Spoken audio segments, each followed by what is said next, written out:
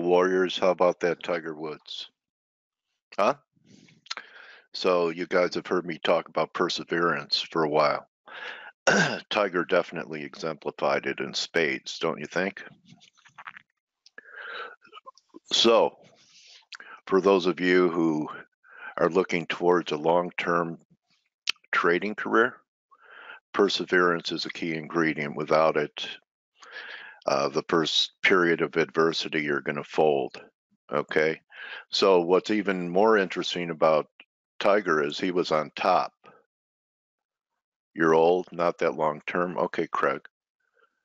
So, it's even more difficult. And I've known traders that were big, huge, successful traders that went into a period where, you know, it, it turned out terrible for a while. Okay, and uh, one of the biggest S&P deck holders and traders on the floor uh, is still doing it, even though there's not much of a floor. And for years, a guy used to trade 100 lots without blinking an eye, is trading ones and twosies. And you know what? He could have a green jacket one day too because he's persevering. So uh, that was really an inspiring real life lesson in persevering, uh, not being worried about uh, what people say about you. Uh, people were writing Tiger off for a long time. Even Tiger was writing himself off for a while, whether or not he could play again. So I believe it was a great real life example of not giving up and that's a key ingredient not in, not only in trading but almost any endeavor in life. Not that i've never given up okay? But an example so let's uh, enough of the uh, homily from dale father dale. Um, i'm taking a shot up here in aussie kiwi not because i'm bearish you know we were talking about it down here blake caught it here we uh, the the whole chat room was short Kiwi on the central bank. And, you know, I, I thought eventually we could go to 107 and maybe we will, but I'm just thinking, you know, a lot of people have gotten on the train uh, since this key day. This was the central bank day. And really, uh, we haven't had any type of fib rec- uh, retracement at all. It's just been grinding, grinding, grinding. And right now it looks like uh, we're getting some non confirmations. And perhaps the people that weren't here when ForexAnalytix was uh, have joined the party lately. So just looking for some type of shakeout. I would love, and I don't know if I'll, I would be able to have the patience to stay short this long, but I would love a buying opportunity at 104.20 Hello, Hammett. How are you? So just something I'm looking at early on. Keep in mind, we have a shortened trading week with Good Friday. Yeah, that's right. Who's Arya?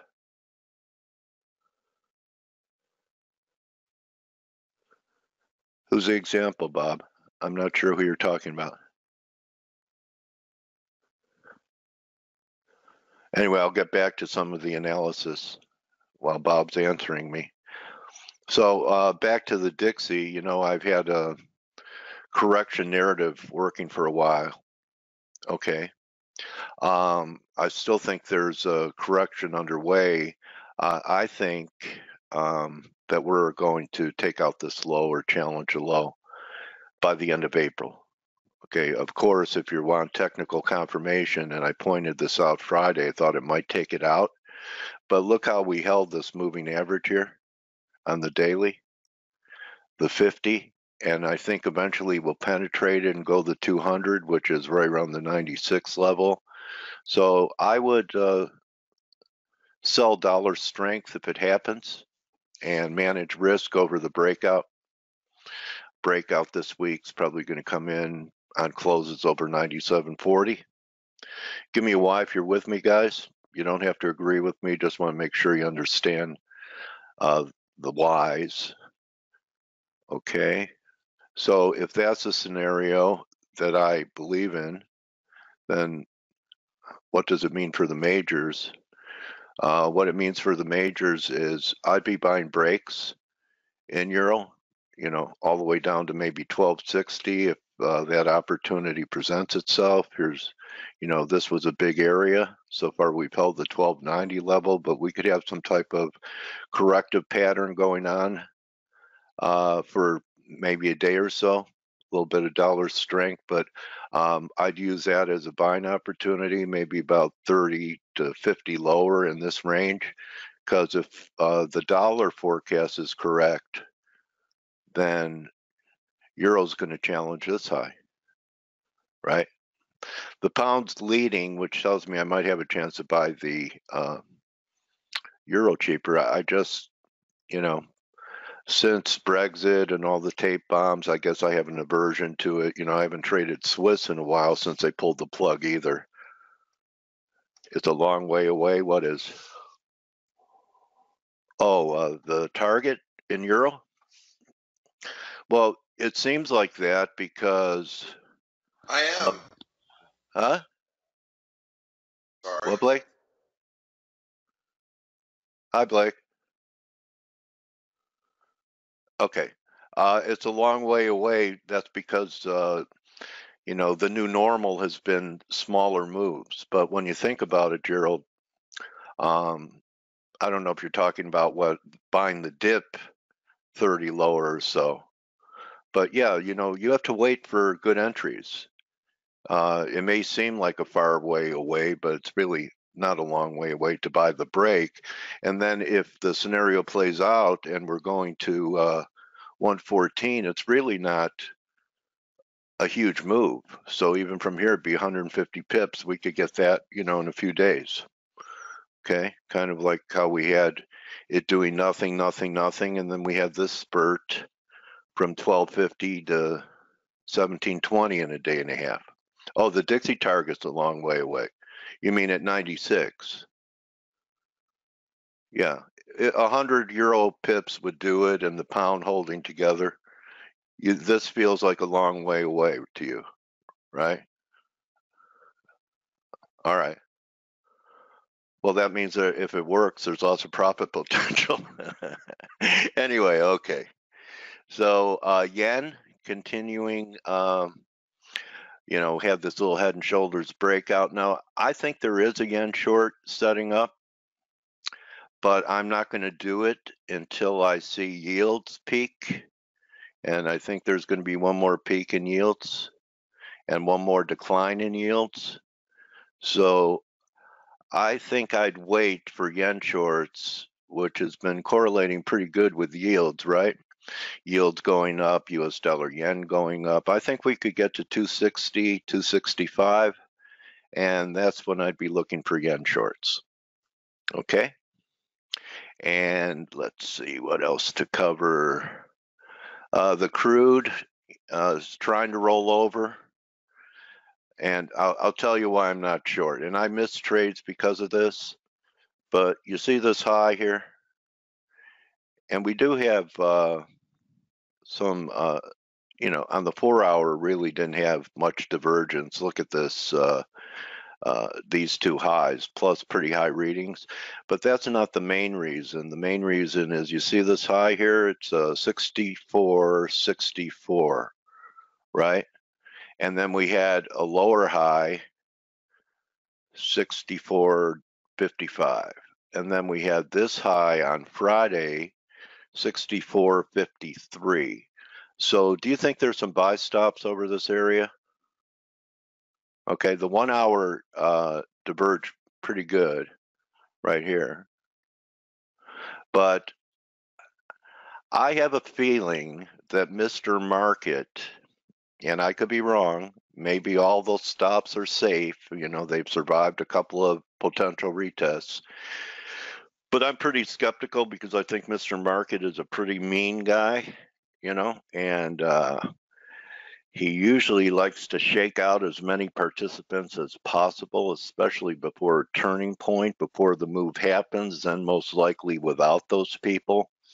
So uh, remaining patient uh, to short crude. Also, um, this is really going to be the deal that seals the top for crude and for me would be closing back under this wedge line, uh, which it held once right here, and the moving average. So um, that's starting to come in right around 62.50. It's attainable. So we'll see what happens if I if we don't get uh, the stop hunt, but we close back inside the formation. This is what I used to think. Oh man, I'm not going to do it here. I'm late. You know, I I shouldn't have waited for a stop hunt at 64.60. Um, you know, now I'm not going to do it because you know I've already left uh, 200 pips on the table. Well, that's not what I think now. So throw over failure back inside the formation. I won't care if I miss the beginning of the move because some of the targets um, that a lot of people I respect are talking about, and there are people on the other side talking $80 oil too, okay? Uh, 70 to 80. Um, uh, but a lot of people I respect are looking for a pretty good bear move. So uh, if we close under this wedge line, the fact that I didn't get short at the top doesn't bother me like it used to when I was uh, egomaniac. Okay. Everyone with me? Enough for you to chew on before I bring in the pros? Okay. So here's one of the best pros I know, Blake, Blake Morrow, who had his mic on and told someone in his household, I, I did already. No, no, no. It was actually um, it was it was uh, it was somebody, and I don't know what I, I I actually hit the wrong microphone button, and uh, it was in my office, and uh, oh, okay. had, uh, we we had one of our traders from Chicago come in, and um, I was saying hello, and I hit the wrong mute button, unmute Okay, button. buddy. Sorry. Yeah, sorry about You're, that. you're a multitasker. I- So how, yeah. how, how was the weekend? I know you love Tiger, not because of you know the personal life, but the same type of thing, Blake. And I know you're a golfer. Uh, how did you feel when you were? Did you It was amazing. watch I- it? I actually had tears in my eyes. It was so awesome. I, you know, it, it- this is that was probably one of the true great sport comebacks of all time. I I, mean, I, I second that. you know, it it was it's amazing to see. Uh, you, you know, between his his his uh, you know his his injuries and his personal life and Yeah. you know the you know the the the you know writing him off. people, everybody wrote him off. I mean, he'll never win another major. He'll never compete professionally. He'll never come back. And for him to to to go out and do it was epic. And, And we hear uh, that from we hear that from even our loved ones sometimes. Oh, you're not going to be able to. Uh, you know, all the voices of doubt, and even in our own heads, sometimes we hear those voices of doubt. But what a great example, because we all, at times in our life, have to make comebacks, don't you think? yeah, yeah, um, all the time. Especially as traders. Yes, yeah, absolutely. And uh, so it was a really amazing feat, and and it was truly a, uh, it was a, it was amazing to watch. But yeah, as a trader, if you guys are you know ever if you ever feel beat down, I mean that watching Tiger Woods come back and and win a major championship, and you know. eh, you know, and come back after 11 years of not, I mean, he hadn't won a major since his son before his son was born Yeah. and uh, you know to watch him on on the 18th uh, you know uh, just just you know hug his son. I mean that's amazing. I mean it's just it was it's truly amazing. And as traders you know we have to we have to take that and go man that is a truly a story of perseverance and uh, and and and work ethic. And uh, and that that's amazing because a lot of us what happens you know as traders is we get beat down and um, you know if you just cower and you know say i can't do this and it's too hard and oh my gosh i you know you know you can and i mean i believe me i get beat down all the time and um, you know i have days and and it's it's you know the the amount of money that I trade now is much different than you know three years ago. Three years ago, you know, if I lost two three thousand bucks, I'm like, wow, that was a bad day, you know. But nowadays, you know, I multiply those by you know 10, at least. And I have good days and I have bad days. And those bad days are tough days for me, you know, and when I have a, when, you know, because I'm the num, the, the sheer amount uh, multiplier that I use nowadays, you know, when I, when I take losses like that, I, you know, I, I have to, I have to, you know, pick myself up on those days and, you know, come back the next day. And, you know, one of the, and I'll just, I'll, I'm to, I'm to tell you guys that the, the firm that I trade for is uh, is is a small firm, very exclusive. We have very few traders, and every one of them have been recruited, and they've been uh, most. And I'm I'm the new guy on the block. Everybody else has been there for north of ten years, and um, they measure me not by the amount of money that I make, but how I I, I react in an adverse situation, how I, you know, if I take a loss, how quickly I come back, how quickly I get my crap back together. And that's their measure of me. And because the money comes, it's, and that's, that's, uh, the, and, and, you know, I've been trading now for the firm for a couple of years. And, you know, believe me, I've had my bad days. I've had, you know, horrible days and um, and you know I've obviously had good days too. So, but it's the day, it's how you come back and how you fight back as a trader that means everything. And that and and and and so if you can you you can watch Tiger Woods and see how he comes back after that many years of being beat down and you know dealing with all the uh, you know the the uh, the adversities he has, um, you know, like I said, it's not just it's not just his his it was not just his you know uh, injuries. It was his personal life too, and um, you know he's really fought back, and uh, you have to you have to be impressed. There's there's there's no doubt about it. And and on top of that, yes, I am a golfer, and I you know enjoy the game of golf, and to see him have his uh, have his uh, the his I don't know what you call it. Um, you know, the the the tiger-esque poise that he has, just uh, it scared the crap out of the rest of the the uh, field too. Um, you know, you could see the the fear in Molinari's eyes uh, as Tiger was coming up from behind. I mean, it, it, it truly, truly affected him, and he and the back nine he just fell apart and um, you know it's the intimidation factor. It's pretty amazing, guys. It, it, really is. And like I said, you you you may or may not be a golfer, but you know, you know, it was pretty pretty amazing. Anyway, um, and it was perfect to really talk about during this period of time because really there's not a whole lot going on. We have very tight trading ranges overnight.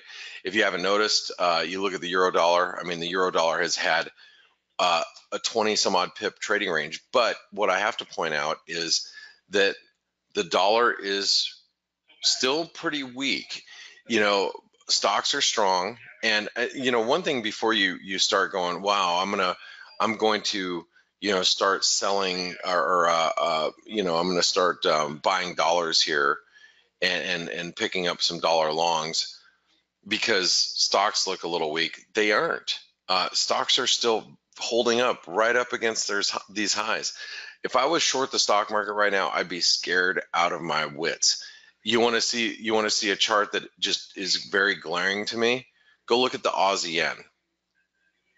This is a multi-month breakout and it's holding. Okay. This has been this is we're at 2019 highs right now in the Aussie and it looks like we're going higher. And so if you just think about that, that is a what in, in the FX market that is what we look at as a risk barometer. So it it it it it, it tells you really what the you know the the um, the uh, uh, uh, kind of breadth of the S&P is right now, and that means stocks are strong. If stocks are strong, I don't know if there's any real reason to be buying dollars right now. Okay, I, I really don't.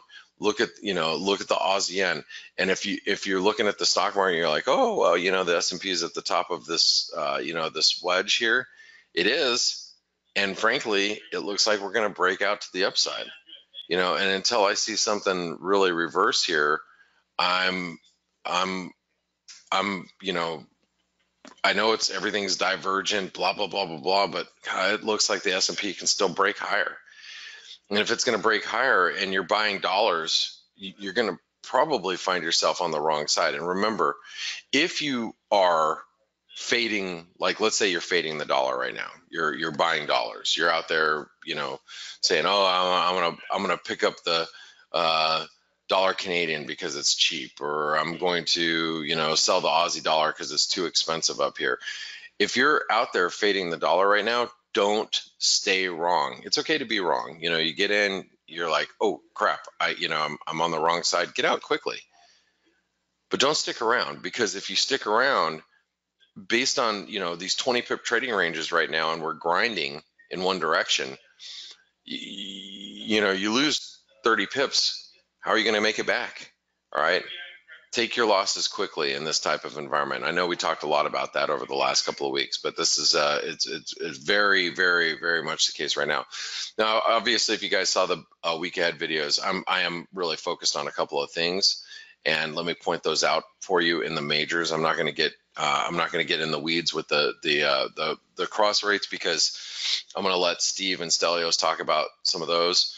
Um, but the the euro dollar at 113 um 50 sorry guys didn't mean to yawn on you but it's monday. You got the case of the mondays. Um the euro dollar at the 113.50 that's a the, a key resistance and that i'm watching very carefully uh, we get above that uh, 113.50 level and yeah you, you ain't gonna want to be short the the euro i don't think uh, Morgan Stanley put out a piece this morning. That's one of their trades of the week is long the euro dollar. It stops below, I forget what it was, 111, some, somewhere down here, but they're looking for 118. Just FYI. Um, if you look at the cable, uh, look, guys, this is a this is a wedge, and I know we we we probed it on Friday, but you know we start breaking above 113 or 131 uh, 40, and the cable's gone. We'll, we'll, we'll trade up towards 133 again. It, it, you know, and and this is a market where you have to start looking at those cascading type events and you know see if, if one starts breaking out, the other one might start breaking out, that type of thing. The Aussie is broken out, and if we get above this 200-day moving average at 72 cents, yeah, uh, being short the Aussie, I don't know if you really want to do that. Okay. Um, let's take a look at the Kiwi. The Kiwi dollar. I, I know I mentioned this during the uh, the week ahead video. We are we've broken this lower trend line, but you know, in all actuality, we're still holding through support. We start getting back above uh, 68 cents. That's going to squeeze. And you remember, I'm talking about this because the stock market is, is just continuously grinding higher, and you've got the Aussie yen that's breaking out you know it can it can drag the kiwi higher as well. Let's take a look at the dollar canadian. The dollar canadian you know here we are near support. Dollar canadian is one you know dollar pair that i would buy.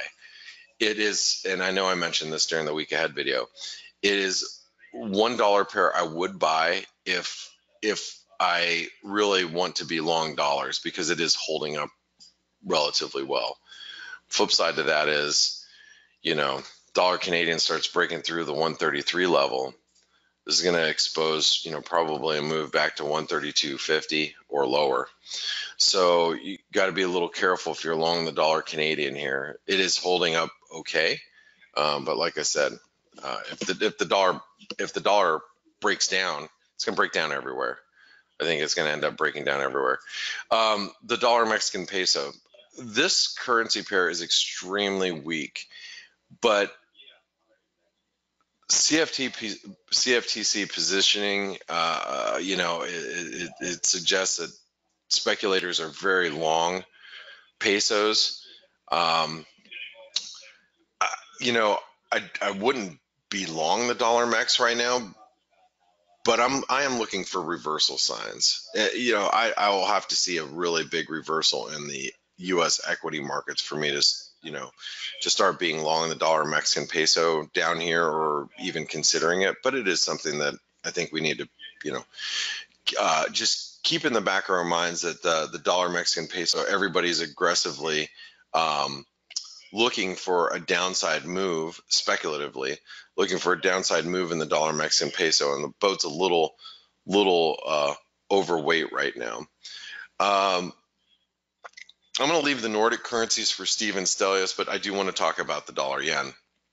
The dollar yen is, and and and um, like I said, I'm going to let uh, Steve, I'll let Steve do all the cross rates here. Um, but the dollar yen is up against some resistance. And uh, we're at the 127% extension of this last move lower. We're, we're knocking our head against it against 112.10. But notice how it's not selling off. It's still holding up well. Um, the longer it sits up here, the the higher the risk of a break of this dotted line right here. Okay. The, the longer it sits here up at these prices, the more risk we are at a break above there. So as, if we can continue to consolidate here another, you know, 24, 48 hours, chances are we're going to be breaking through this 112.50 to the upside. All right. So, uh, and I'm not, I'm not long. I'm just pointing out the fact that it's squeezed and it's not going down. And what does not go down probably only has one other direction to go. All right. Well, actually, in this market, it could be two directions. One other one being sideways because we're obviously we're not moving very quickly at the moment. But you know what I'm saying. Okay. So uh, with that being said, I want to bring in my colleague Steve and Stelios. Good morning, guys. Morning. Good morning. How you guys doing? Good. How have you been? Uh, I, I, you know, other than not wanting to get up at three o'clock this morning, I'm doing good. Uh, I definitely did. And and by the way, there, uh, Coach was around and he said something. Somebody asked about Arya, uh, one of the listeners, that he was referring to Game of Thrones.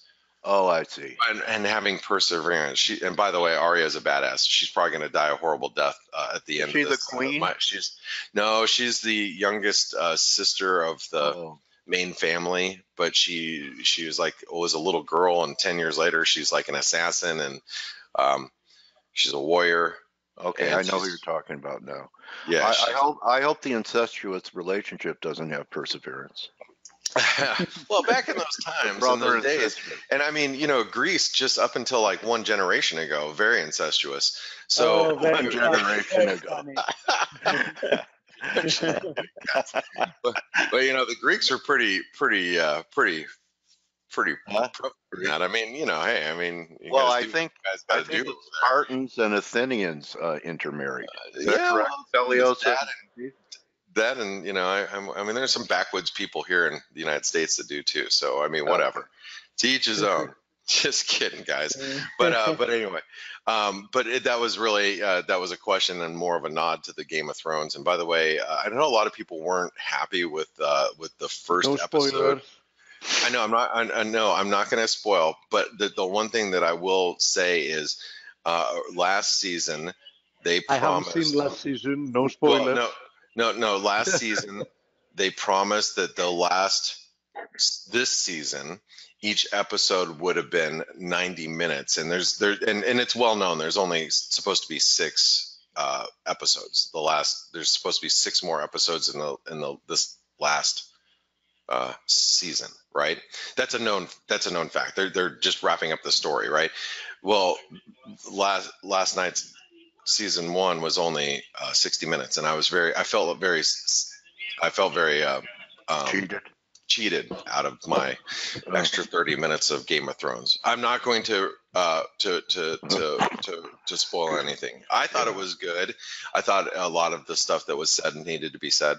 So uh, and I'm just going to leave it at that. So, uh, but some people were like they were disappointed with it. And I'm like. I- I, wasn't. I was so excited for it to be back on though. So it's, uh, I think I would have been happy. It's like remember that old skit with um, uh, Eddie Eddie Murphy, the old uh, skit where he was like eating, you know, um, um, Ritz crackers. He's like, the best damn Ritz crackers I've ever had, and he because because he hadn't had Ritz crackers in forever or was so hungry. Yeah.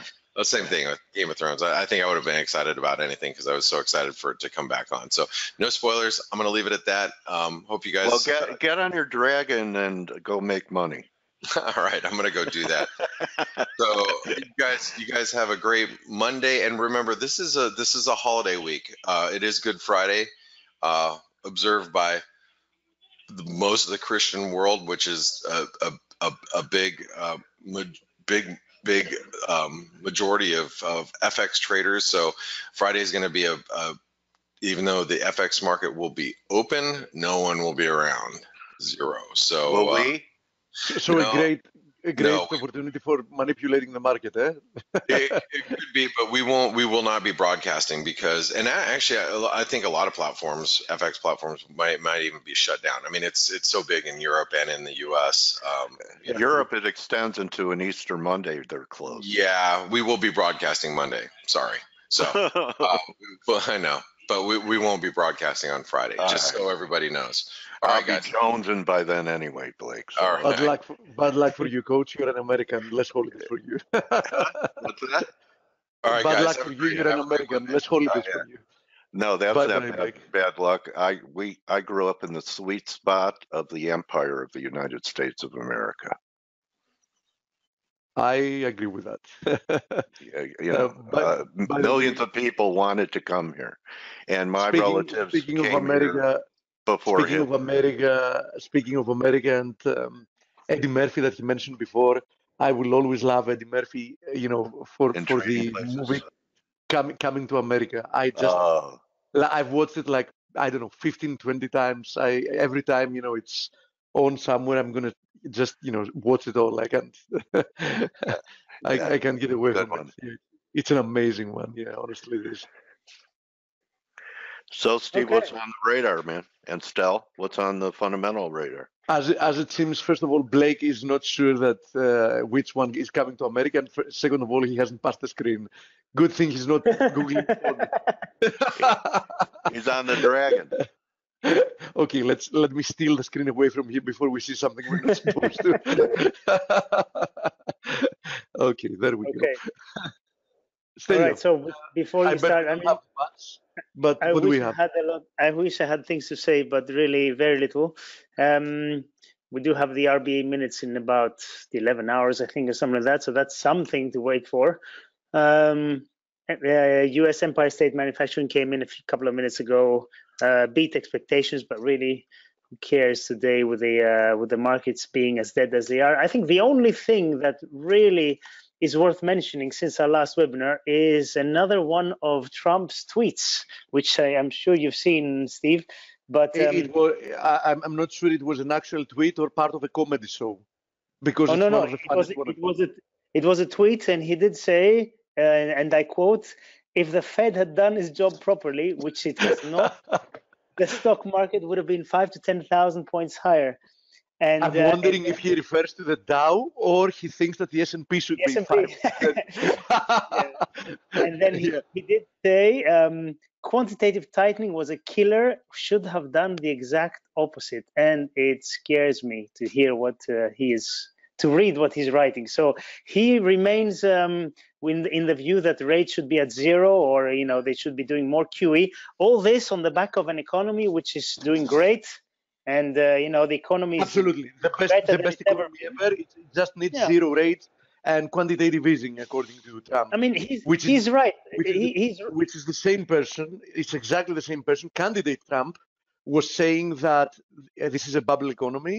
The stock Yeah. market is in a bubble, and the Fed is is playing political games. Well, by, now it's his bubble.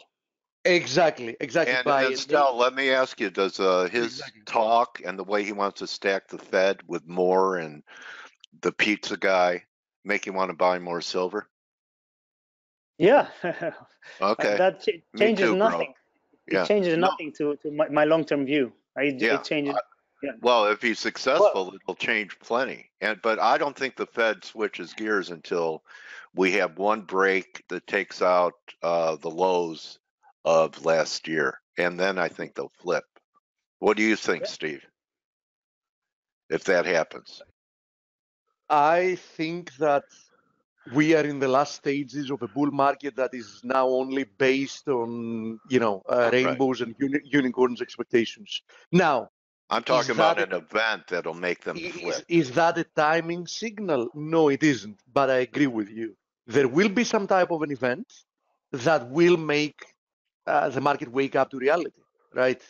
And well, Boockvar be... says that Fed isn't data dependent; they're S and P dependent. That's absolutely that's absolutely certain. I mean, if you just have eyes and monitor what they've been doing, it's 100% sure that they are S&P dependent. Simply, and you know something, I, I don't blame them. I don't blame them because they know better than anybody else uh, that the the only thing that keeps the economy going at the moment, besides you, you know rainbows and, and unicorns expectations, is the wealth effect.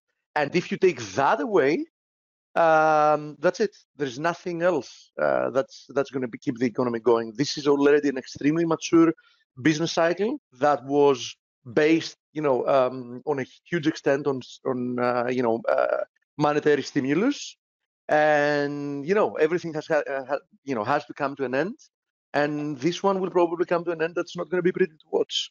Um, and you know, unfortunately for uh, you know once again, I, I don't have any political stakes, of course, in, in the U.S. and the you know I couldn't care less. I'm neither a Democrat or a Republican. I'm just you know a third by, uh, bystander observer. Unfortunately, uh, Trump um, was voted as a person that was not a politician with whatever good that entailed. You know that he was honest, that he was straightforward, that he was blunt many times, but you know that was one of his pros. And he proved to be uh, on at you know on this subject another hypocrite because the exact opposite of what he was touting as a candidate he's now saying as a president okay? And what has changed in between? Absolutely nothing at all not that it's a surprise to me unfortunately um, you know it, it is the standard nowadays but um, I, I, think you know that uh, you know we, we've now you know seen exactly what was his true beliefs, you know, pre-election, and you know that now what what he has done is he has em- embraced the bubble, as you said, and now that it's his own, he just wants to keep it keep keep it going and keep it pumping at least until election time 2020. Now, will they manage to keep to sustain it until election time 2020? They will try to. Will they succeed? I don't know. My gut feeling says no, actually. So that's my point of view. And now we can go back to the, to the charts. Um, um, Rob says Trump is starting to point out that the Fed has been the enemy since its inception.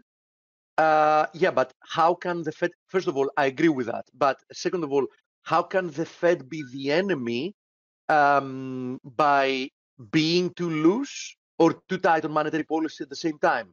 I mean, you be, you can you can have the opinion that the Fed uh, is an institution that has done more bad than good if you believe that in general it has been too loose on monetary policy and it has helped um, politicians sustain an unsustainable situation having to do with fiscal policy, which is a very good argument. But you can't believe both of them at the same time.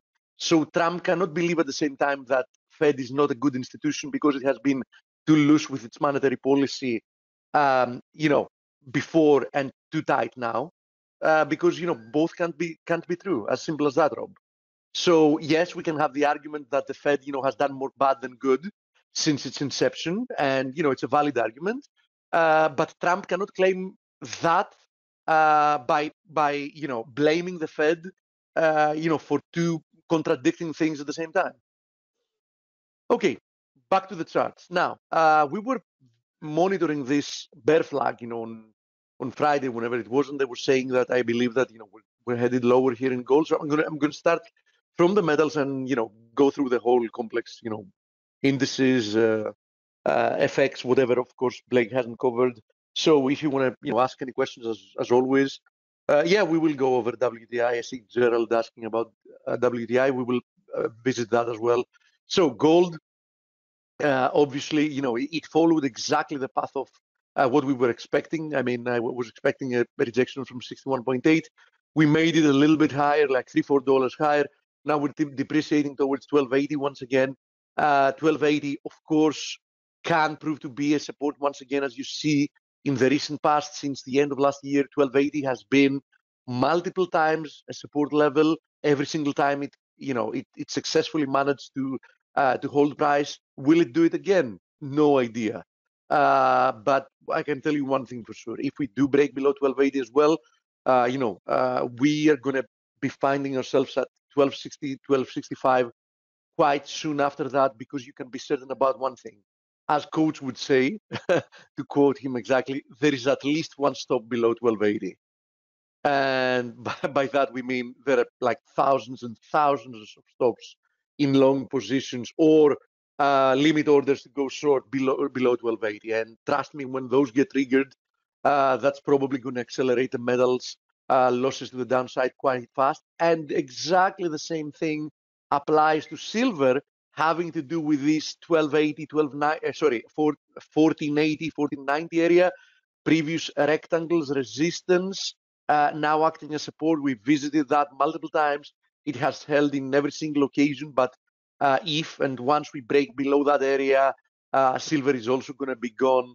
Uh, it's going to be moving lower quite fast after that for the same exact reason I described.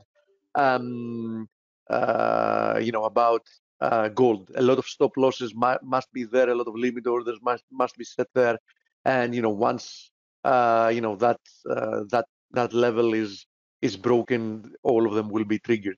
Um, you know, brief outlook of the rest of the metals.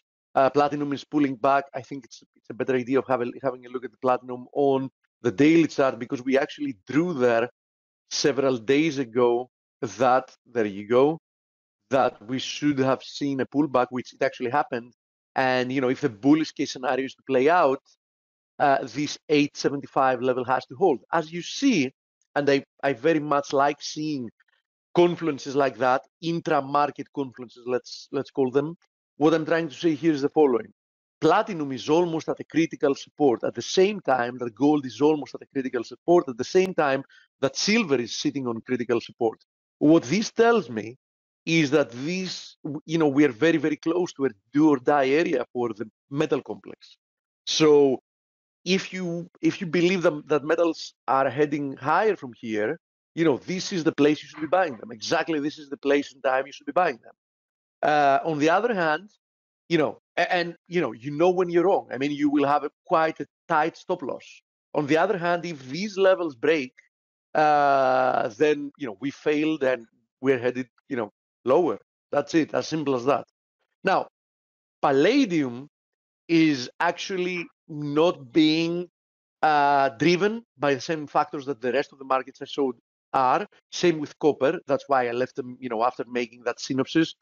Now, um, palladium likely seems to be in a triangle here, which tells me that it should move lower towards, you know, the next objective, objective which is 1265. It's a decent scenario, decent probability scenario. And copper, on the other hand, still consolidating. You know, you can view this as a bull flag that has been broken, retested, and the market is coiling before we head higher. Uh, there is also, you know, you can view it, you know, on the shorter term chart as a, you can see it here, as a triangle. We're coiling within it. If we, in any case, if we break above like 297, 298, we should be headed quite higher. Uh, first objective after that is going to be uh, you know, depends on how you want to draw it. You can take extensions from this correction lower. You can take extensions from that correction lower. Regardless, you know, we should be headed higher um, above three to begin with.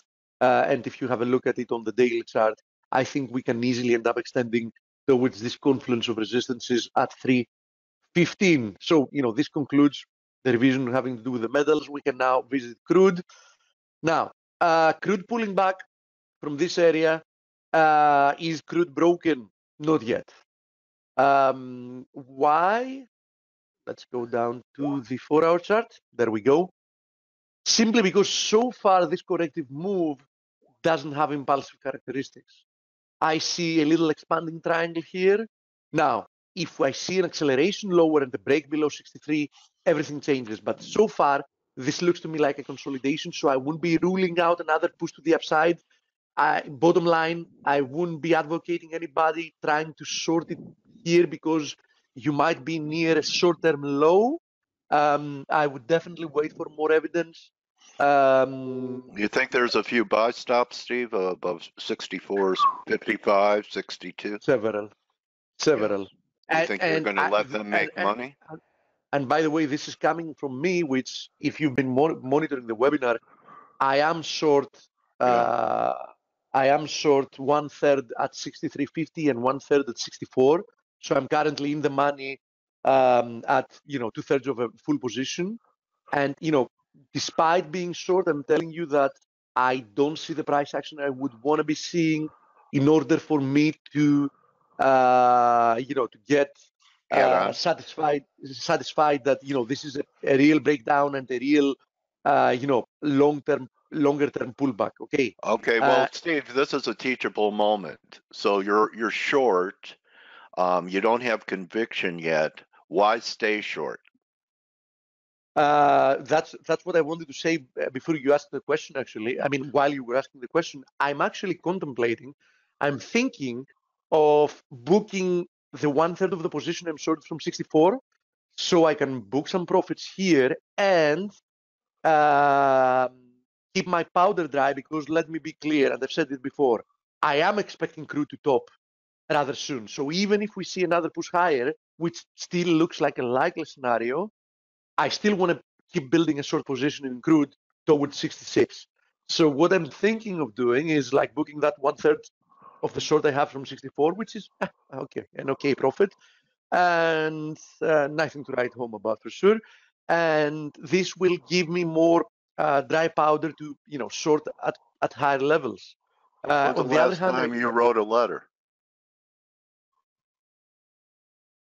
So, you know, I'm saying you said it's nothing to write home about. I- uh, probably when I was at my summer camp?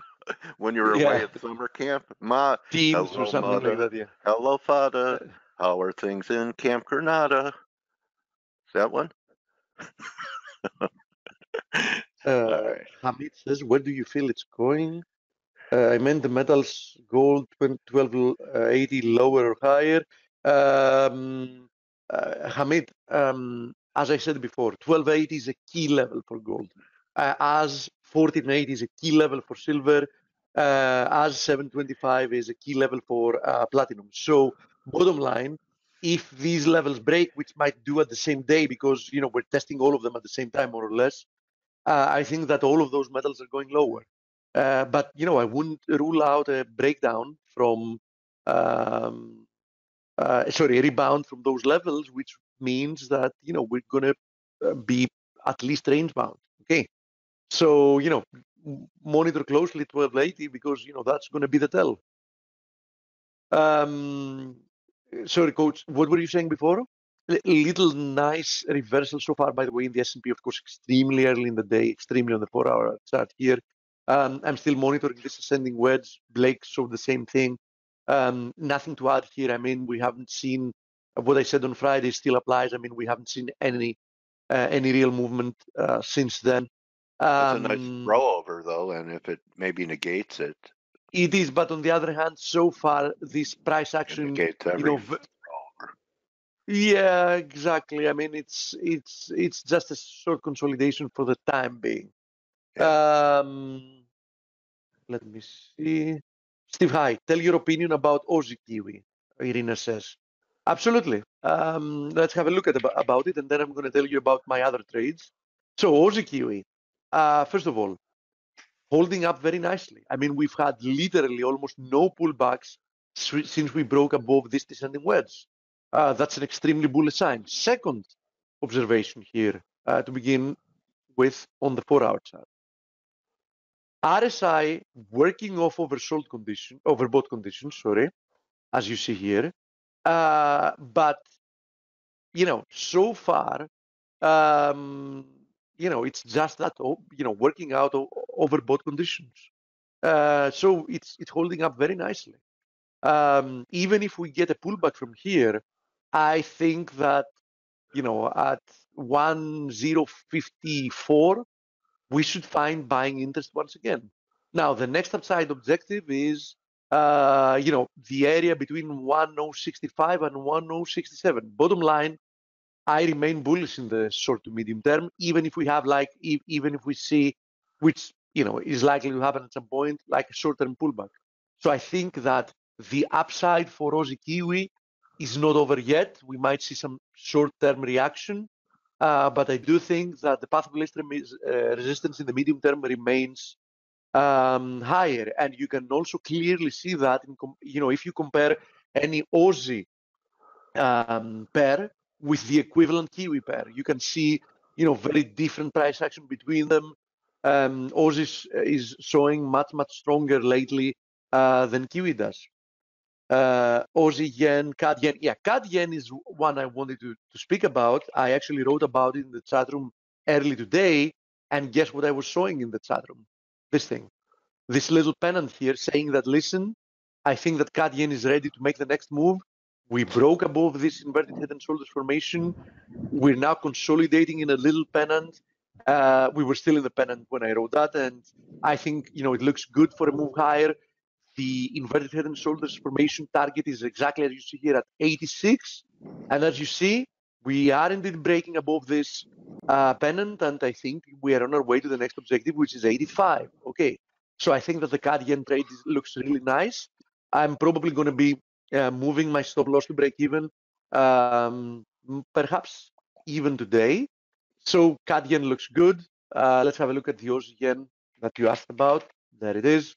Aussie yen looks good as well because as you see, this little corrective move here uh, might even be over. I mean, at the worst case scenario, I expected like a, a little bit of a deeper pullback towards this area. We might not even see that happen. Regardless, as long as we remain above 79.60, let's say, uh, looks good to the upside for at least one more leg uh, higher to the upside. The next objective is the 78.6 of this uh, move lower, which comes at 81.05. So yen looks very decent as well.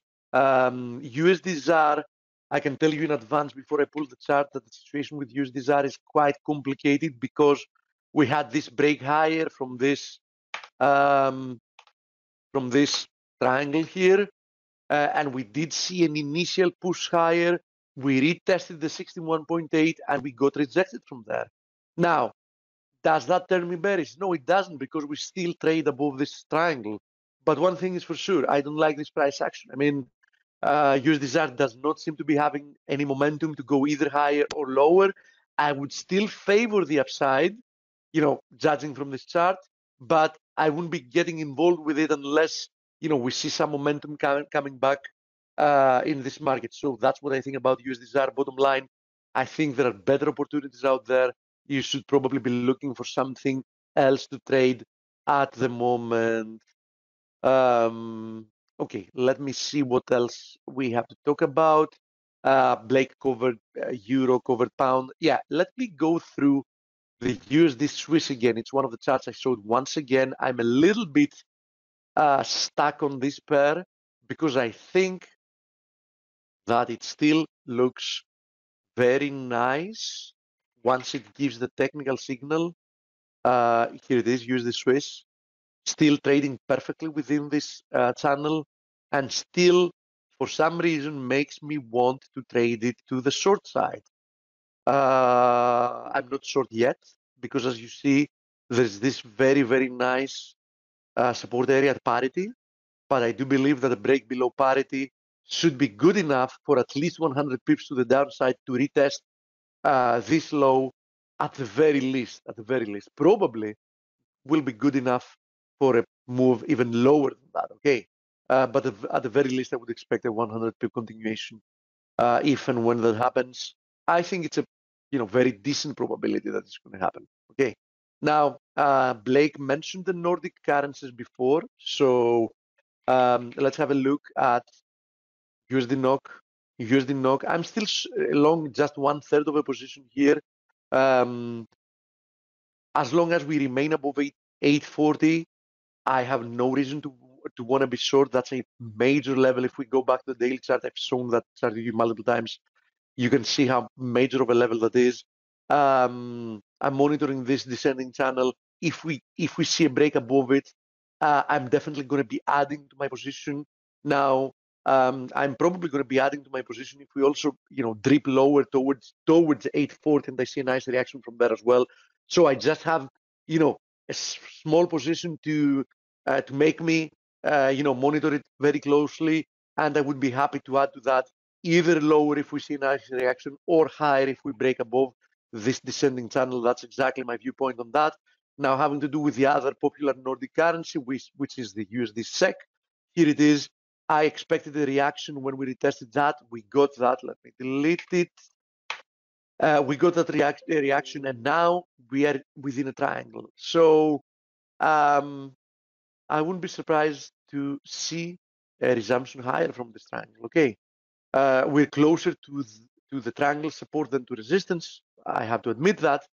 Having said that, um, you know, I would I wouldn't be doing much, but I wouldn't be short for sure.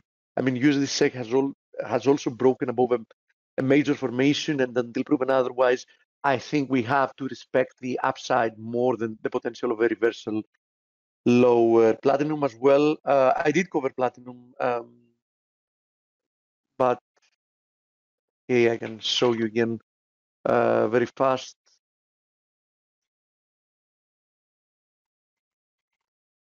What's this area as support? You see there is a nice rectangle here, 875 area, very strong support. As long as we remain above that, you have to respect the potential for more upside in platinum. If we do break below 875 again, uh, I think you should be very, very careful following that. Okay. Uh, Coach, by the way, do we have an interview uh, today? Yes, Steve, we Coach? do, and and he's here. Ah, okay, very nice. Um, okay, now let me see if we have any more questions. Last chance for questions, people. I'll give you one minute. Let me see what else I want to cover. Not much has moved today, so you know, um, Bitcoin, Ethereum consolidating the recent gain, so nothing much to add uh, there. I'm still uh, along my last part of my. What is your your view on DAX? I'm actually long the DAX. Uh, I, I mentioned that on Friday. I'm I'm long the DAX, and the reason is uh, okay, I put it up on the wrong chart. Here it is. The reason is, you can see it here, that we've broken above this uh, flag here. So I'm long the DAX, I'm in the money, and I'm looking for at least a shorter move towards the 161.8% extension and this trend line resistance. So in the short term, I do like I do like DAX to uh, the upside. Did you say US index is down? uh, I said that there was a small reaction um, on the four-hour chart lower, but we're still consolidating near the highs. And of course, the you know the chances remain that the S&P is going to push higher towards the all-time highs until we you know we see something that says the opposite. Okay. Uh, any ideas on USDTL? What is that? Sorry, can Hamid? Can you give me the ticker again because there is no ticker with two two Ah, Turkish lira. Okay, okay. Uh, sure. Let's have a look at it. Not much that has been happening here, but let's have a look at that. Um, there you go. It's been pushing towards the highs, but keep in mind that you know this move higher does not look impulsive to me yet. So what's this area currently testing uh, resistance. If we break above that, the next area of interest is this one. Okay, at you know close to six. Now let's also flip this. There you go. Let's also this.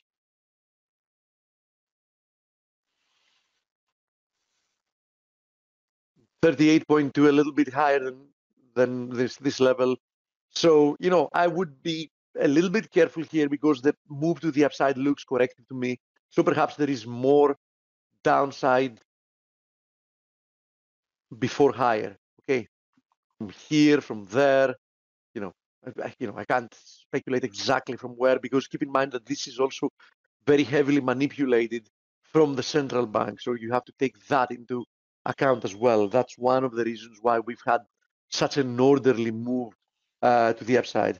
Can you explain uh, why DAX rallies despite euro strength, whereas FTSE is suffering from cable strength. Um, thank you. Yeah, absolutely. I'm going to cover that, and you know, then we'll pass it to coach to start the interview. The DAX is not doing well uh, despite euro strength. Um, I mean, let me say it oppositely. The DAX would be doing it would be doing even better if euro was not appreciating. Okay, so it's not that the euro strengthening does not have an effect on the DAX. It's just that you cannot see it because they they both are moving higher at the same time. So it looks like they don't have an inverted, you know, an inverted correlation. Um, but trust me, if the euro was flat or if it was dropping, um, you know, of course, if it was dropping, uh, not for a reason that would have to do with um, you know, the safety of the system or, you know, any big uh, issues with the Eurozone, in which case we might have been seeing both the Euro and the DAX uh, depreciate. But, you know, you can be certain about one thing. If the Euro uh, was flat or depreciating at the moment, the DAX would have been performing even better. So trust me, there is a negative effect from the Euro uh, appreciating to the DAX, but it's not enough to keep it from appreciating at the moment. The DAX looks quite good in the short term. As I showed you, we had a textbook bull flag, which has now been broken to the upside. And I even gave you an upside uh, objective. So thank you, everybody. See you tomorrow. Coach, enjoy the interview. Thank you, Steve. Okay, Mr. Privateer, welcome to FACE. I'm now making you the presenter. Looking forward to meeting you and want to thank you for taking time out of the slowest trading day of the year to join us. Welcome to FACE, Privateer. Here you go. Drop down menu for mic, for screen. Yeah, see, should be on. Can you see me? Can see you, can hear you. Very nice to meet you, my trading warrior brother. Nice to meet you, Dale. I'll have to say uh, straight away, uh, I appreciate uh, what you do and what you say. Um, your consistency. I think I mentioned to you, I, I don't believe uh, in in God or whatnot, but I do really, really enjoy uh, the way you start your day on a positive note with consistency and your value system. So thank you for that. Uh, even oh, though you and I diverged a little bit there, but I appreciate that. I bet we don't diverge about the perseverance that Tiger Woods showed in his career. And as a trader, privateer, I, I, I bet you could really understand how you have to live through adversity and have the perseverance to win again. Yeah, yeah, I, I, I couldn't agree more. I heard Blake earlier say he was in tears. A lot of us in the trading community can relate to that because uh, in my mind you know what is trading? It's basically a series of failures and how you get up off the canvas wow. that gives you a career in trading. Yeah. Um, so we all have to be rocky balboa right buddy you kind of do. You kind of yeah. do. Uh, and uh, let me tell you my story. And one before of the you do, I, I'm curious, and maybe a lot of uh, the viewers don't know. What is a privateer? Ah, uh, yeah. Private. Uh, what is privateer FX, or what is a privateer? No, what is a privateer? Because obviously you selected that handle for a reason of what it represents, right? So what is it? I have to say, smarter guys than I selected it. Uh, okay. I, we, have got, we've got four we've got four guys here. The guy in Dublin selected. He's got a he's got an acute sense of humor. I believe he says it's something like we are not pirates, but we are privateers, and it's some sort of British Anglo angle. I I I wish I could yeah. give you a better answer. Okay, because most people would associate it with piracy, but what it is, I think, uh, and you could check with your partner. It's uh, someone who had their own ship, and you know, I tell all the people I mentor, uh, even though I share ideas. We're all captains of our own ship, but yeah. I think it's an independent ship owner who uh, goes out and does Searches commerce. treasure. Yeah. I think before they call them uh, merchants, you know, merchant shipping. Yes, they were privateers. Right, Nick, you might right. Uh, Even if you're not right, I'm going to take treasure that. is the aspect, right? Okay, so you're seeking treasure in the FX market as a trader. That's a great handle. That's that's basically it. Um, So, So the- tell us, yeah, go, so go ahead back to your story and tell us about your treasure hunt. Yeah, yeah. I'll tell you about my journey because a lot of people listen to me at the European Open, but there is a group of us. There's a fella, um, again, who's smarter than myself, who trades uh, for the same family I trade for. We have we run managed accounts for one of, I would say, the more famous American families out there. I don't want to share the name Okay. for their sake. Uh, they are very, very old-fashioned, discreet group of people. So we'll just You leave know, it at that. someone once someone once told me privateer, and I even had to really worry about it. And I certainly didn't take their advice with, you know, being on social media. But uh, he said, Dale, make your money in a closet.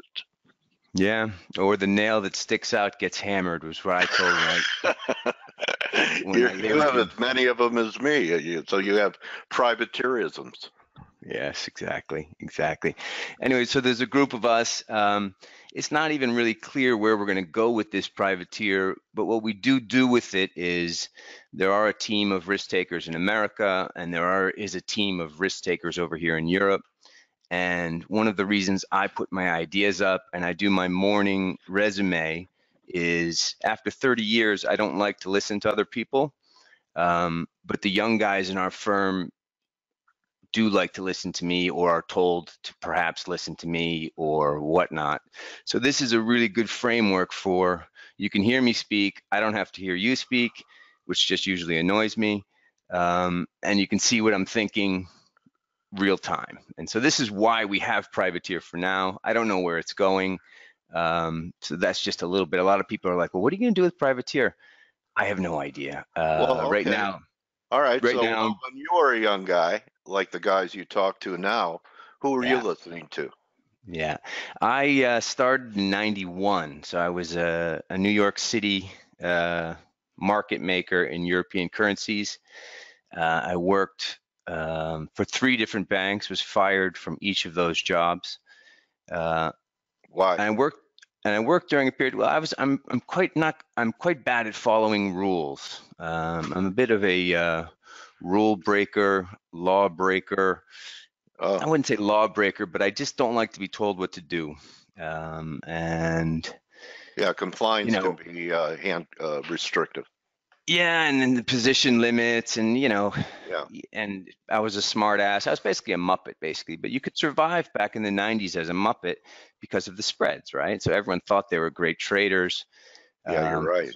because we had massive spread back then. And so I was a market maker and I became like a lot of market makers back then. If you work for the right shops, I did some very, very serious volume at some very, very key times. Like one of the reasons I became somewhat known was again pure luck. I got paid at the all-time highs in in Mark Lira. I don't know if people probably don't even remember this, but this is before the euro Yeah. um, made a million bucks pure luck you know made some price out of my ass the guy pays me it's the all-time high um, but those are the kind of moments where you de- develop a little bit of a reputation and you see some more flow and and i always consistently made money but i also always consistently broke limits uh, rules overnight limits i was just basically uh, you know sort of a bit rebellious uh, during that time Okay. The you know I have a question for you, and uh, I'm Yeah. kind of a maverick myself,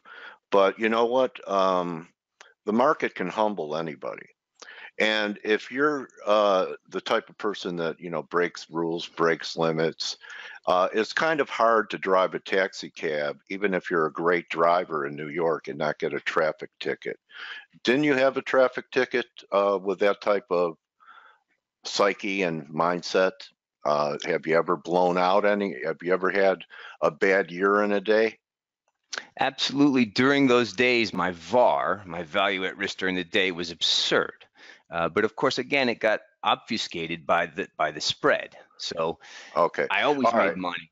All right. So Um, what people are what so what privateer is talking about is uh, during you know pre-internet where everything decimalized and everything, uh, and when you used to have even open outcry, uh, brokers could make money. They were you know a quarter spread. There were bigger spreads, and uh, a lot of guys got rich. And then when their decks were taken away.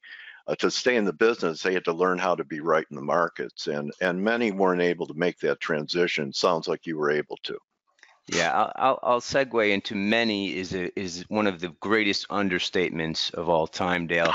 Nine, 99%, um, 99% failed. I can think of 100 guys uh, that I shared those New York years with. Yeah, Five are dead. Um, yeah, 90 are out of the business, and there's maybe four of us left. And what's odd is the four of us that are left weren't really the heroes. We were guys who just worked our asses off and kept learning our craft and kept failing and then fixing it and then failing and then fixing it. So imagine me, I've been fired from every job I've ever had in trading. And some guy some guy calls me up and he goes, "Listen, New York's not too healthy for you. You should move to Europe and we should trade PA together. And we'll leverage our money 40 times and we'll just sort of travel around the world trading PA." And again, wow. I was I was so stupid that I thought I could do it. Um, you know, I didn't realize how hard that would be without any spread and pure alpha, et Right. cetera, et cetera, et cetera. But the guy who asked me to do this turned out to be um, kind of a superstar, probably the single greatest pound for pound trader uh, I've ever met. And he- this is the guy who really taught me my craft. So I just Wow, dropped you got everything lucky. I did get lucky, and this is part of everyone's journey. There is some luck. uh, Okay, I, I call it providence. it is, it is. And if you surround yourself by great people, which I try and do, you can kind of make your own luck in a sense, you know, like you know, there's a reason there's a reason this guy and I this guy and I were friends. We shared humor, we shared a lot of things, but also like I was no I was no dummy, right? The guy was one of the best traders in the world and you want to learn from these type of guys. Yeah. Um, and to make a long story a little bit shorter, so I moved to Europe, no papers, no insurance, nothing, $40,000 to my name. We leveraged this money up um, 40 times. And then over the next three years, I'm kind of traveling around the world. So every every nine months, I'd move to a different city, Paris, and Biarritz, Singapore, Geneva, and he was also moving around. London, Tokyo, uh, Toronto, um, and What an adventure. yeah, and he basically taught me risk reward and how to trade. And the key features in being a professional trader, which number one is never lose your seat. So Yeah. risk is premium. And you can imagine when you're 40 times leveraged, you can never make a mistake. Never. So we sort of developed this system where we would get into trades, what we would call free trades, similar to what you do, I think, Dale. You, you're a forex stop hunter. We see these weak parts in the weak points in the market, and if you just get long or short at these weak points, you can kind of get a free trade. And so if your downside is close to zero and you have the balls to hold it, you can make a fair bit of money. And of course, it was a lot easier to make this money pre-algo and pre this volatility. You can't really do that, but we did that for three years, and we made a fair we made a fair bit of money. Um, you know, doubled, triple, quadrupled our money, um, including our lifestyles, which was just all on a credit card. We didn't have bank accounts. We just had one Visa, and then we would pay cash, nine months cash in advance for rent, and just move from place to place. Then eventually, uh, you know, some people kind of saw us and they asked us to do a hedge fund. And this is where also luck and and falling down and getting up, getting up works again. So we took another partner. There were three of us, and we started this hedge fund with a million bucks. And all these people who said to us, "Oh, you guys should start a fund," you know, and, and you're pretty known now, and you're a known commodity. Then we asked them for money. They all said no. Every single one of them said, "No, your track record's not long enough. You don't have enough under management. You're too young." Because mind you, I was I was 30, and these other Muppets they were 27, so we were youngsters at the time. Mhm. Um, Yeah, so- uh, action actions speak louder than words. Easy easy to say, you know, you should start a fund. We'll participate. Cutting exactly. the check is another thing, isn't it? That's exactly it. But here's the thing. Again, it was part of our stubbornness and part of our just general stupidity. We just believed that this was going to work. So we just knocked on 250 doors. And the first 249 doors all said no. Uh-huh. It took a year. We spent, I don't know, 70 grand of travel and entertainment in London, New York, uh, Geneva, Zurich, Tokyo, um, where we had connections, of course. We were all bankers, and these guys who I were with were even somewhat famous. Um, they all said no. And then one guy finally said yes. And he was like from a biggish name at the point where we were like, this is, Ready to you know, give up. yeah, Yeah. just about to give up. And to the point where, you know, you're at the Sanderson Hotel. It's a Thursday night. You're at the Sanderson Hotel in London with your partner. The third partner doesn't even want to come to this meeting because he uh-huh. knows the guy's going to say no. He can't handle rejection anymore. Yeah, you know, and we probably had too many mojitos. We, you know, typical night at the Sanderson. We show up like a big groggy, eight o'clock in the morning at one of these London shops, and this guy just goes, "All right, you're done here." And then it just cascaded. Uh, and for seven or eight years, we we ended up raising close to a billion dollars. And I'm not saying that because uh, blah blah blah billion dollars what I want to say is over that time frame, it was again a period, a series of massive failures. So You learn the most from your failures. Okay. you do, And you do, and this is this So is what I want to. Go ahead. So uh, This is what I want to tell the internet here because I'm go now ahead. getting a lot of people who are coming onto my Twitter saying, "Oh, can you help me with this? Can you, you train me with this?" And I want to say that number one, Malcolm Gladwell's 10,000 hours works for some, but it took me 30,000 hours, you know, Yeah. to, to become great at this. I never heard of that 10,000 hour thing. Yeah, he, he he basically said in order to become, you know, professional quality at anything, you got to put in 10,000 hours, which is basically So- five years at 10 Okay. hours a day. All right, screen time. Yeah, And you And can't so- learn experience. It only happens with the passing of time and living through stuff. correct, correct. Okay. And as you said, your failures teach you far more than than your successes. But you can imagine again, here come the failures again. So you, you, you do great with four bucks, you can trade eight bucks, and then you got to trade 50 bucks. Then you got to learn to trade 100 bucks, and then you got to learn to trade 200 bucks. You have no idea. And, and what works on 10 million certainly doesn't work on 50 million as well, and certainly doesn't work at all on 200 million, et cetera, et cetera, et cetera. So again, it's these series of failures which teach you how to change, how to evolve, uh, how to get this thing done. And it's incredibly hard. Like everyone glamorizes this business on the internet, uh, on the Yeah. Instagrams, on the things. You what mean I'm the ten thousand dollar millionaires that rent a Ferrari and a private Yeah. plane and are sitting on a beach with a drink? Them? Dale, you you and I are putting nails through our temples when we see that bullshit. I mean, it's unbelievable, Yeah. but people believe it, and it's sad, you know, because I get I get direct messages from people all over the world now, and I and I keep trying to tell them, dude, you have no idea what you're getting into. You know, you can't just start this at 41 years old and then think you're going to be a millionaire at 42, starting with $2,000 and zero experience.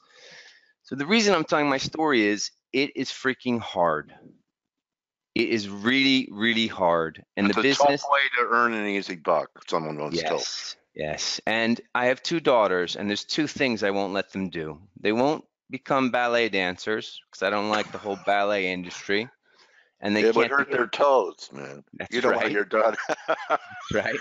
And they cannot become traders okay. because it's too hard. It's too hard for the normal person because you have to live this abnormal life and learn to react to things in an opposite fashion that's normal. Do they have to marry a doctor or a lawyer, privateer? No, they can do whatever. Those are the only two rules, and I guess they Okay, that's- probably no prostitution. I guess third rule. you are a character, man. I'm so glad I reached out to you. All right, so, uh, you know, we've been talking here. Uh, what a great story, and how fortunate you were, because you talk about, you know, the trading floors aren't there. That was a great place to rub elbows with pros and hang out with pros, and all the charlatans on the internet. And you know, you uh, compared, and even though it was a tough road, at least it was a road that wasn't a detour to hell. And No, uh, a lot of people, you know, uh, you know, turn, you know, buy. I will sell you the secret of trading for five thousand dollars. You know, and you just told everyone what the secret is: hard work. hard work and stubbornness and you know every time you get knocked down every time you're in the fetal position in the dark on a saturday morning because you can't believe just what happened. The illogical move that just happened or they ran your stops you're 80 Mhm. points in the money and now you've scratched it. All of these things um, are real and people need to get that through their head and be super super careful How do you Um, protect your health, privateer? Uh, you talk about all this stress, and we know what stress does to the Mhm. body. So, Yeah. you know, I think that's an important thing too, because you know I had a major health issue, right? So, yeah i heard uh, that heard about that yeah Yeah. So, what do you do? Do you train uh, when the mar? You you make sure that you live a, uh, you know, an athletic type lifestyle um, to be in a peak performing state, which is difficult to do every day. Uh, what's your routine? Yeah, I, I- think I again should tell the full story because I could tell you the varnished story and the beautiful story that I'm in peak condition and I train every day. In my 20s, I used alcohol Okay. uh, to run away from my problems. In my 30s, it was less, um, but still. Uh, and it wasn't until my 40s that I realized that the most sensible way for me personally to survive this business was to do fitness in nature. So I, of course, live in Switzerland. Um, Beautiful. I uh, I take the road bike out, you know, these 10 speed bikes, and I ride up I ride uphill in them. That's what I like to do. I like riding up the mountain. Um, it's a great metaphor for pushing the rock and for trading. yeah. And I also ski. But when I ski, I don't ski downhill anymore because when you're in Switzerland, that gets quite boring. Um, I walk uphill. So again, I do ski touring. Um, and oftentimes I do this at sort of 5 a.m. So pre sunrise, and you want to get to the top of the mountain at the sunrise, quite invigorating. Uh, it's the one time of my day where I'm not thinking about eurodollar or implied Right. vol or when ES is going to turn or OPEC Cool. this week. Uh, and that's the way I survive the stress. But also, it's and again, it's a little bit easier for me at 50 because, you know, I kind of have the fuck you money now. So my trading now is just also a little bit different. And I'm not saying that to be like a jerk. I don't want to be a jerk. I just want to be honest with people that um, it's hard. And like, and I couldn't have done that in my 30s and 20s because it was a 20 hour day. The phone rang all night. I took fills at 3 a.m. You couldn't get up at five and go on your bike because you were smoked. You were exhausted the whole time. For decades, I was exhausted. Okay. That's So I a just want to throw that reality check out there Okay, that, that's a great story. So, um, uh, really uh, great content in this interview. So, uh, you chose to show the S and P chart. Were you long? Uh, have you ever seen, and you've been around for a while, a market break the way it did in December, the worst year since 1931, worst December since 1931, and rebound with such magnitude without one correction? No, well, I mean, we did see it obviously in, in seven, 2007, 2008, and and this is the story I'm going to tell today. Uh, I'm of the camp that we're this is thin air. This has to turn. I agree with your colleagues that we're waiting for this event, and until this event happens, your yen crosses, and I hope you guys are right on your Aussie yen cross trade, but I'd be a bit nervous being long Aussie yen, being long any risk metric here because I do believe Okay. it's in thin air. Um, let me just, I guess you can see my screen. I'm, on the weeklies Yeah, here. 2925 was a number uh, of, of an Elliott wave guy put out uh, guest I had last week. So watch that number. But I'm going to go back. I'm going to go back, and I believe a few of our viewers, actually most of our viewers or listeners, probably have never even heard of Paul Tudor Jones. Oh, I he's my hero. All the big money's made at the turns. Of course, you and I know him. He is our hero. He's our Michael Jordan. He's our Wilt Chamberlain. And uh, and Blake trades for Gelos, and Gelos uh, uh, they trade Tudor's funds. Nice, nice. So you guys know him, but the youngsters probably don't know him. But he made a load of money uh, in '86 with this same type of idea, in a sense. So we're looking at the weeklies now, and Mm-hmm. we're gonna go to the, we're gonna go backwards now in time to the last time there was a turn. So I'm going back. I'm going back. 2007. So you see up here, 2007, we traded up to 1564, and we had this move from 1233 to 1564, this 20% move in a straight line. And that was July 2007. And then we Okay. had this massive move down, very similar to our December move. If you think Okay. even in percentage terms, that's 20%. It's 15 to 13. It's 200. Uh, it's 200. Yeah, it's 200 S&P points at 15. Yeah, it's it's like 16%. Right. And then you see this magical mystery tour here, where we just clip the high. Yeah. We just clip the high, and then you get your turn. I'm of the idea that I'm not sure we're going to clip this high. So now let's go back to present day, all the way back to present day. So we've had this move up, this insane move up. We've had this move down, and now this move down, the second move down in December. I'm of the mind that we could barely clip this 2950. Okay. And up at 2950, I'm on red alert. Any negative sign, I pile in. But I have a feeling because of the Barron's cover and because of basically the general, I would say the general flock right now has just given up. And everyone's like, well, it's just going to float higher. Well, it's going to go higher. The Fed's gone dovish, that, Mhm. yada, yada, yada, blah, blah, blah. Oil's going to Trade 80. deals happening. Da da da da da. Yeah. And okay. so, uh, but but in fact, that doesn't matter. My my point is Right. right now, and in even my my morning video today, you know, we run a tactical book, or I run a tactical book and a directional book. My tactical book is supposed to make money every day, and I make money sort of 58 out of 60 months, like clockwork in my tactical book, and that's small money that's supposed to smooth out the directional book, which pays the bills. And as you know, for someone who's been around, and for all you youngsters listening out there, the four days a year, the four obvious days of year is how the pros make their money. That's where we get paid. When cable broke 190, I repeat, 190 back in the mid 2000s, and euro went down from 160, that's when we got paid. The rest of the time, we were just breaking even, making small profits, not losing our seat. This is going to be one of those times where when this turns, you just have to be ready for it. So you're just on high alert. You're not fading this, or if you are going to fade it, like today, I'll be selling sort of between 29.18 and 29.23, kind of what I would consider a stretch high.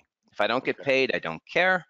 Um, if I do get paid, I will then trade it on the short side for a better average to try and scratch some cash in the S&P book. But what I'm waiting for is a daily, now we're on the dailies here, is a daily move that's going to tell me something. This day here, March 22nd, is one of those days. We almost bearish engulfed. This would be a day that I would be like, oh shit, something's about to happen. And then I would look around, see what the story is, and decide whether to pile in. I'm waiting for this type of day, and it could be a long-tailed extension high, close at the same, you know, doji, tombstone doji. You it want a could- negative candle to tell you. Yeah, or it could be the Uber IPO. So Uber IPOs, and is everyone smashes it. When is it? Uh, that is a good question. I don't even know. It's coming up because I've seen it in the in the media. Okay. Let me see what they say. It's it's soon, Okay. or it could be, um, it could be Google getting sued by the Europe by the Europeans. We all saw that in the FT this weekend. There's now it's a tsunami of litigation. I- I stole that headline from one of my news feeds. Um, everyone is now suing Google in Europe.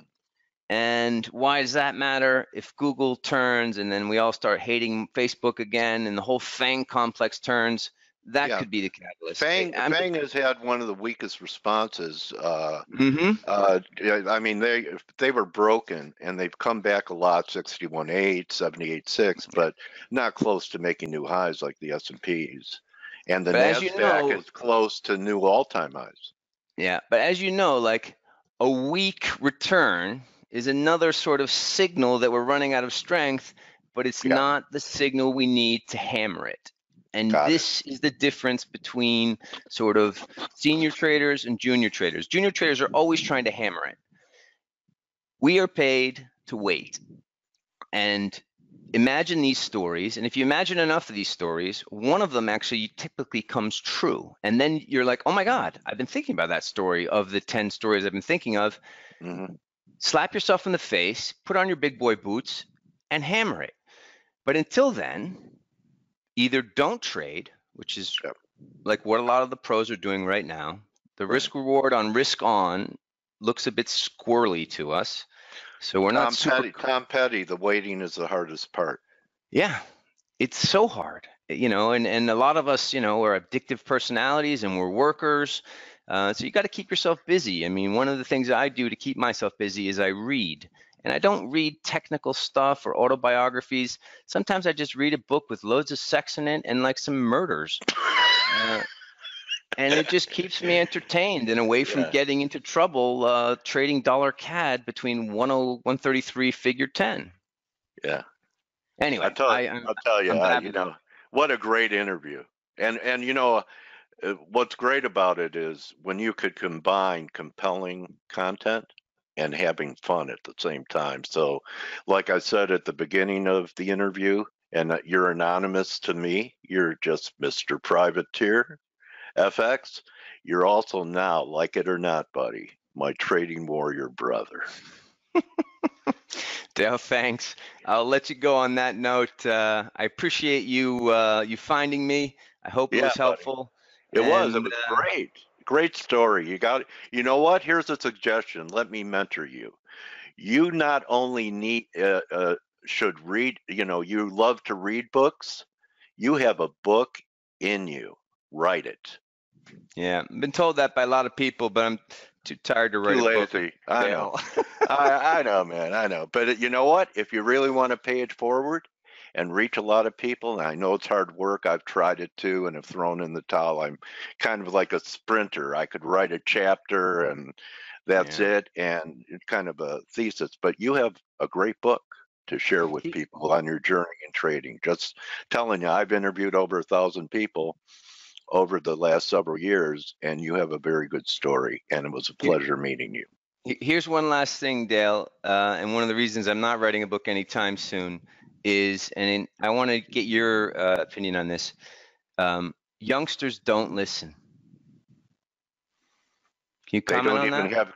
Uh, uh, I I believe the reason they don't listen is because they only text, and and texting texting is silent. So you know It's the uh, lowest form of communication, right? It is, and try and have a conversation with them and get them on the phone. And there's almost a fear of meeting people in person that they need the protection of a device. I couldn't agree more. This is one of the Okay, great, buddy.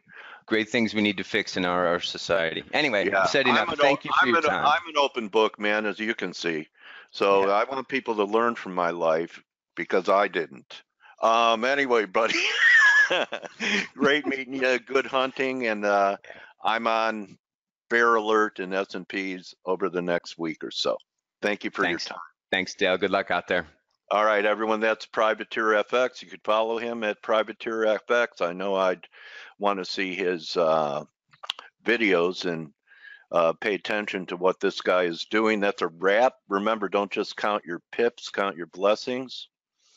You're very welcome, Hammett. You're very welcome, Mark. Everyone loved you, Privateer. And we'll see everyone for Turnaround Tuesday. Adios. Cheers. Ciao. Cheers. Adios, buddy.